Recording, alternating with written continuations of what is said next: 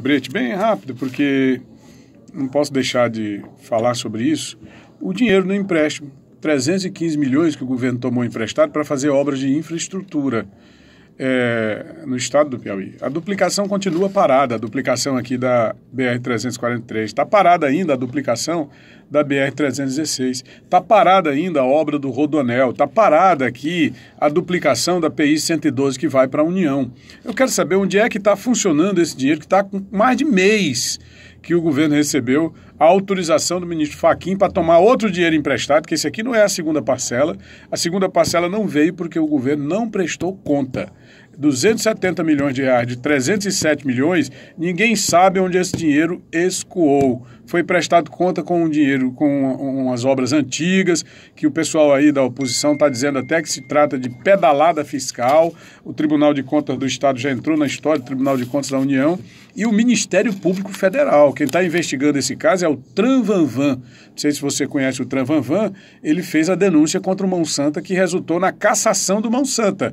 Aí o Monsanto não tinha o que que dizer, ficava chamando o rapaz de feio. Não, ele é feio, ele está me perseguindo porque ele é feio. Não tem nada a ver. Ele está cumprindo o trabalho dele, o Tranvanvan. E ele é muito competente, um procurador muito competente, um cidadão discreto, não fica fazendo propaganda, não dá, dá entrevista. Ele nem gosta dar entrevista. Eu mesmo me lembro, ao longo desse tempo todo, eu talvez o tenha entrevistado uma ou duas vezes. Mas é, é preciso que haja informação, saber onde é que está esse dinheiro, rapaz já teve aquele 270, já tem uma denúncia agora que foi feita pelo deputado Robert Rios e pelo deputado Luciano Nunes, de que desses 315 milhões que é para obras de infraestrutura do Estado, eh, foram já tirados 100 milhões de reais para distribuir com prefeitos em função da campanha eleitoral do, do, desse ano. E já tem até áudio do deputado João de Deus falando sobre isso. É preciso que haja uma investigação e que se contenha, se for fato verídico e comprovado esta sangria desatada. Mas é preciso também que se dê resposta sobre os 240 milhões de reais dos consignados. Os servidores do Estado pegam o dinheiro emprestado com base na consignação do Estado e o governo desconta a consignação do dinheiro do servidor, mas não repassa para o banco, segundo a denúncia que nós recebemos. E isso aí já totaliza 240 milhões de reais. Se você for somar o rombo que está aí, você tem 270 milhões, 240 milhões, 360 milhões. Quando chegar lá, ninguém conta mais. É dinheiro dinheiro que ninguém conta mais. Só pode ter um usurário por aí, né? O usurário é aquele camarada que fica só contando dinheiro e guardando debaixo do colchão. Sinceramente, não, não pode acontecer. Uma outra questão também que nos chama a atenção, eu estou com um depoimento aqui gravado do Marcelo Lustosa, que ele é transplantado cardíaco. TFD é o tratamento fora do domicílio, é uma ajuda de custo que o governo dá. Só é 24 reais por dia para que a pessoa se desloque para o Rio de Janeiro, São Paulo, Fortaleza. 24 reais por dia. Está com cinco meses de atraso. Cinco, cinco meses de atraso. Estou falando aqui porque as pessoas me param na rua, me param no shopping, estou almoçando no restaurante, chega uma pessoa e diz, olha, só é você que fala, então fala. Mas outras pessoas também estão falando. Eu vi matéria na TV Clube. Só que faz uma matéria, deixa para ali. Faz só o registro, né? E aqui eu gostaria também de saber do Centro de Convenções. Foram aplicados 25 milhões de reais no Centro de Convenções, uma obra que está há 10 anos paralisada. E a pessoa, por exemplo, quem é responsável por isso? Não tem responsável, está lá o, é um monstrengo o centro de convenções, ao lado da Assembleia Legislativa. O presidente da, da Pentu, na época, era o senhor chamado Patrocínio Parlandim, que é irmão do deputado federal Parlandim. Não tem nada com essas pessoas. O governador é esse mesmo que está aí. Não tem nada com essas pessoas. O vice era o Wilson, que já foi governador, candidato a senador, está candidato de novo. Não tem nada. Quer dizer, isso é uma coisa que incentiva a transgressão. As pessoas ficam aí passeando, brincando, sorrindo, como se o dinheiro público não representasse absolutamente importância para ninguém. Agora, para mim, importa, porque eu pago imposto, pago energia, combustível combustível a mais aqui, nós temos 32% de tarifa do Estado no preço do combustível, temos 29% do preço da energia elétrica. Isso me interessa sim e deveria interessar você também que está me ouvindo agora. Isso é uma coisa que nos indigna, entendeu? E aí eles ficam brincando, ah, aquilo é um, é um indignado, é um peixe. Não pode nem correr, porque tem as pernas moles. Olha só, olha só. Cartegiane Oliveira conosco aqui no programa Jornal da Cultura, primeira edição. Vamos falar sobre inteligência emocional. Esse é o microfone, tá, Cartegiane? É, vamos falar sobre o evento que foi realizado no domingo, né, com a participação de pais e também de jovens. Como é que foi o evento, Cartegiane? Bom dia! Muito bom dia, Tony. Bom dia, telespectadores. Foi um sucesso, Tony. Foi um sucesso. Maravilha, maravilha. Tivemos, recebemos jovens que saíram do nosso treinamento, do Intelecto Team, realmente grandes líderes. Líderes exemplo de comprometimento, de união e de ação. Foi um resultado assim magnífico. Por quê? Porque nós fizemos essa junção do jovem com o pai. Esse elo que em algumas famílias estavam desgastados. Estavam até rompidos mesmo. Foi um domingo de muito esforço, de muito trabalho, de muita energia, mas também de grandes resultados. Você chegar ao término de um treinamento como esse, voltado para os jovens, e ver um abraço acalentador de um pai, uma lágrima no olho, e o pai vindo dar o feedback dizendo: Eu nunca tinha visto meu filho falar em objetivo de vida. Eu nunca tinha ouvido o meu filho falar em metas. E agora, ontem ainda, eu recebi um pai que foi me abraçar, foi mesmo no escritório, conversar comigo e dizer: Olha, o meu filho veio negociar para mim uma mesada. E quando eu fui conversar com ele, ele me chamou no quarto e a cama dele estava arrumada. Tony, um simples gesto já muda toda a percepção de um jovem. Jovens que têm sonhos e não acreditavam mais em seus sonhos, como a gente estava falando das redes sociais. Jovens hoje que estão esperando a próxima oportunidade para levar os amiguinhos. E a história do vou te contar. Como você disse, você é inconformado com o que está acontecendo no Estado, no Brasil. Eu sou inconformado com o que eu vejo. E essa minha inconformação gera uma energia, energia essa que eu estou desprendendo para alcançar resultados, com o que está na minha mão resolver. Hoje eu tenho essa mesma indignação que você falou, mas eu resolvi cair por um outro lado, começar a resolver a base, pois eu acredito, Tony, que a educação salva o Sem mundo. dúvida, sem dúvida. A educação. E aí o grande, a grande brincadeira do treinamento, Tony, foi os pais chegarem um pouco mais cedo para receber os filhos e nesse recebimento tomarem um choque e participarem do treinamento. Ou seja, não só deixei meu filho, eu também vou fazer. E eles conduziram o filho nesse passeio. Enxergar o pai vendo o filho nesse passeio, no treinamento, e a lágrima cair dizer, ah, é possível, isso não tem preço, Tony. Isso Verdade. não tem preço. Muitos pais presentes? Muitos pais. Pais, a família em si, pais que levaram seus pais também, que são os avós, levaram outros filhos, e foi assim uma grande confraternização final.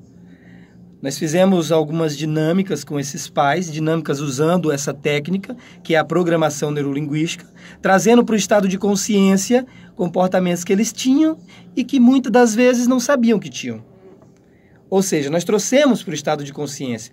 E aí você pode me perguntar, mas Cartesiane, num domingo só, você mudou a vida? Primeiro que não fui eu. A técnica usada, esses jovens e esses pais trouxeram para o estado de consciência. Isso é um fato. Eles passaram a ter consciência desses resultados. E aí, essa, metaforicamente, essa caixinha de ferramentas vai sendo usada no dia a dia. Lógico que tem que ter uma continuidade. Como eu disse na, na entrevista passada, a, nós aprendemos as coisas através da repetição. E quando gera uma emoção. Instalou o programinha, já era, não, não esquece jamais. E esses jovens vão praticar. O, o objetivo de vida é um documento que eles fizeram num papel, num papel grande, onde eles pregaram na parede do quarto. Ou seja, atingiu o objetivo de vida, vou cuidar para outro objetivo. Eles fizeram vários, vários objetivos. Fizeram objetivos futuros para daqui a mais seis, sete meses, final do ano, as notas, passar de ano, que é o que eles querem. Eles querem também ter mais independência, mas querem também, tendo essa independência, ter mais deveres. Você ouvir de um jovem que ele, que ele quer ter dever é algo mágico, né? Porque o que é ensinado hoje é que só tem direitos. Ou seja, ele negociando, ele assume a posição de ter um dever. Um dever. Nós temos inclusive aqui, eu não sei se eu trouxe esse trabalho, onde chama-se um guia aos jovens de um novo tempo. Mas infelizmente eu não estou com ele aqui. Em... Eu gostaria depois de conversar com você para a gente trabalhar a edição deste guia Vamos, dentro vamos da sua, do seu projeto e, logicamente, para ele ser distribuído aos seus jovens uh, treinandos, né? Claro. Por quê? Porque esse guia, ele tem lá um capítulo especial sobre a questão de direitos e deveres. Nós observamos o seguinte, hoje, não só o jovem, mas as pessoas, de uma maneira geral, elas estão muito focadas nos direitos e não querem nem saber que tem deveres. E, e lá na relação, ela a questão dos deveres é bem mais ampla e bem mais importante do que dos direitos, né? Claro. Com toda certeza. Fala um Com pouco sobre certeza. direitos e deveres do jovem. Do jovem. Nós temos uma dinâmica chamada zona de conforto. Nós começamos a colocar esses jovens dentro da zona de conforto. Dentro da zona de conforto, eu preciso mudar alguma coisa, Tony? Não. Tá bom, mexe, não mexe, tá tudo bom, não tá? Agora, quando tá você. Tudo uma beleza, né? Tá tudo uma beleza. Não preciso mudar nada. Tá confortável? Não preciso mudar. E aí, quando nós abrimos essa, esse estado de consciência nos jovens, que tira uma parte da zona de conforto, por exemplo, perde o ano, perde o semestre, que foi o que a gente fez agora. Muda tudo. Os amigos, esses são os primeiros que vão embora. é porque eles passam. É. E aí eu fico sozinho. Eu percebo que eu tenho que estudar mais. O meu pai vai pagar um professor particular, porque eu atrasei e eu não posso perder o ano. E quando eu percebo que eu tenho que fazer mais coisas, acordar mais cedo, estudar mais, perdi as férias, eu começo a me preparar mais.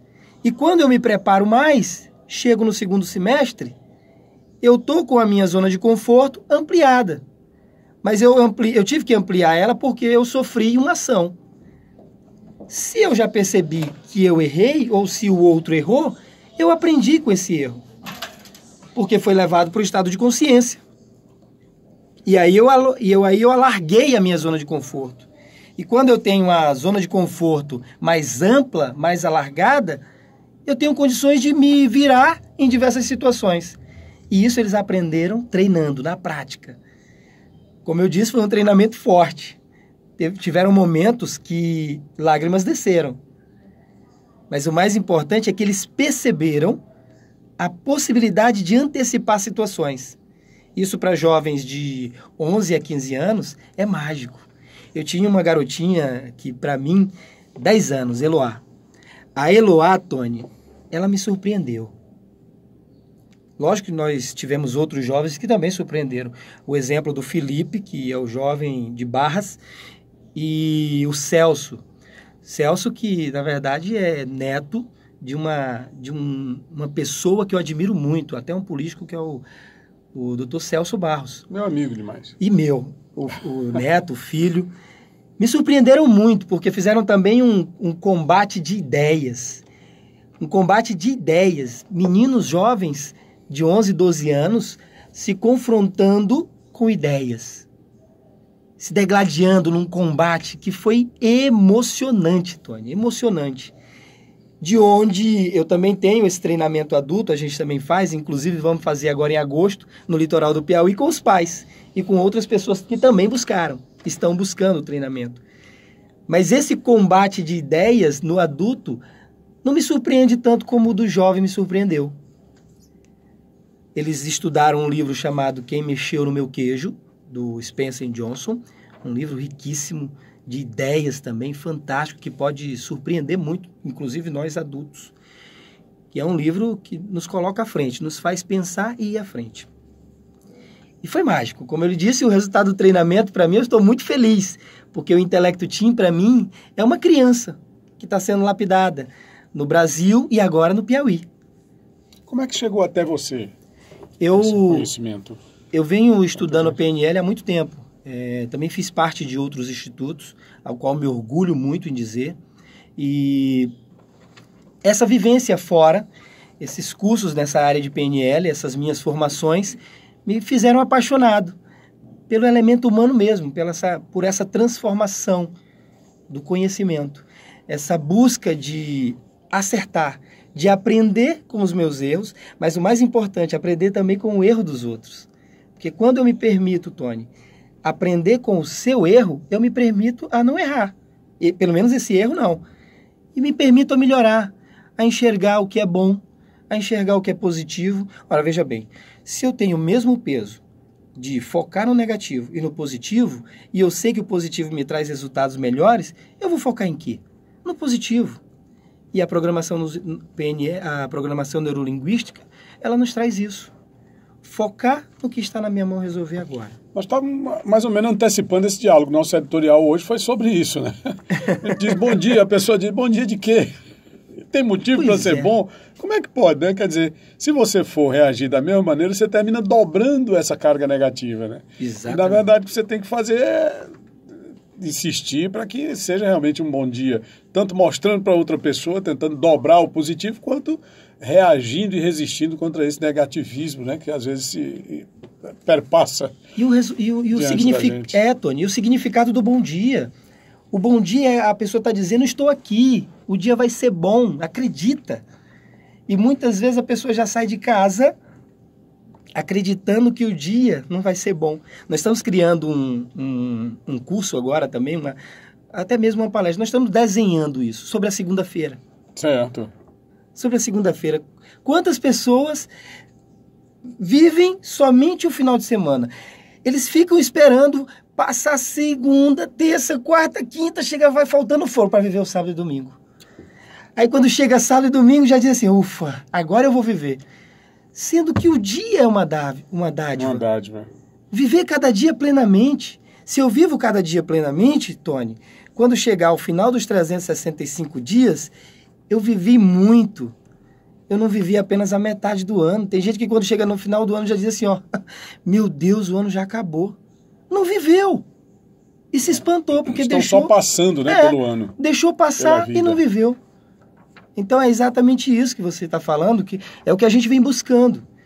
Eu não sei se você já percebeu aí que está uma procura imensa por qualidade de vida. Uma prova disso são esses cursos de coach. Eu costumo brincar que tem mais coach hoje no Piauí do que gente. Né?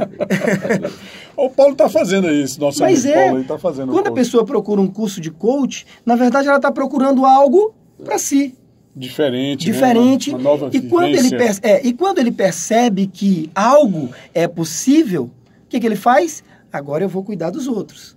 Não é isso? Então é exatamente isso. A gente está numa constante busca pela, pela melhoria contínua. E é isso que nós estamos buscando também. Ok, eu quero agradecer ao Cartejano Oliveira, que é um expert em inteligência emocional, o nosso consultor aqui na área, né? Já estou aqui nomeando o Cartejano de consultor na área de inteligência emocional. Já estou virando sócio, né? Já está virando sócio aqui do nosso programa. E venha mais vezes, é sempre muito bom. A gente tem que ter esses diálogos né, sobre coisas boas, porque é tanta coisa ruim, né? A gente todo dia notícia e tudo tem e esse programa ele tem se notabilizado por uma, uma coisa assim, de mais de 90% da nossa programação são questões relacionadas à construção de novos momentos, construção de novas vivências, a mensagens positivas, a fazer com que as pessoas possam construir no seu imaginário uma forma de resistir contra essa coisa ruim que está no Brasil hoje, provocada não pela política, mas pela sociedade. Por quê? Sim. Porque o político ele é da sociedade, né? A pessoa diz, olha, é, o indivíduo roubou milhões, mas esse quando você observa, tanto faz um milhão quanto um centavo, é a mesma coisa, é o mesmo ato. Talvez verdade, você não verdade. tenha que pagar o mesmo tanto, mas é o mesmo ato. E arca, né? E arca. De antemão, Tony, eu já lhe faço um convite. Estamos aí. Nos dias 24, 25 e 26 de agosto, nós iremos ter o nosso, no litoral do Piauí, o primeiro Intelecto Leader Training, que também é um treinamento nessa área de inteligência emocional, com PNL. E eu lhe convido para você participar do treinamento e vivenciar o treinamento e depois vir dar o seu depoimento. Depoimento, sem dúvida. Estaremos juntos, querido. Está anotado e vou programar aqui. Grande abraço, Cartejano. Obrigado a você. Obrigado a todos. Obrigado, Tony. Foi, foi um lindo passeio aqui também. Maravilha, sem dúvida. Bom,